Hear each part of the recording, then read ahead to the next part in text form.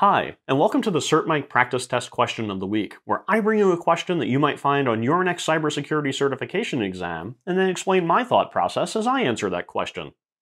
This week's question is about attack analysis. Let's take a look.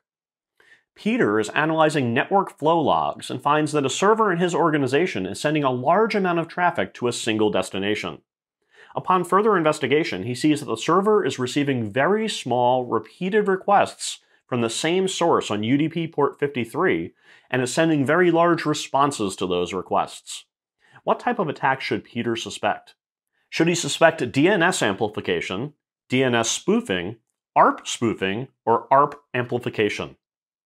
Let me give you a moment to think about that, and then I'll explain the correct answer.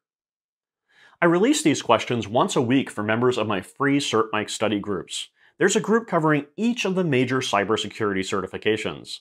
If you're working on your next certification, you can learn more at certmike.com.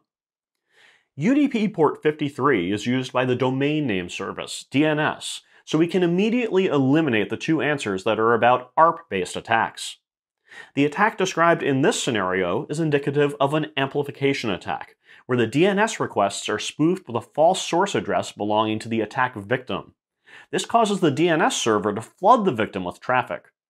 While this attack does use IP spoofing to insert a false source address, it's not a DNS spoofing attack because no DNS information is tampered with during the attack. If you found this question helpful, please click the like button below and consider subscribing to my channel for more cybersecurity content.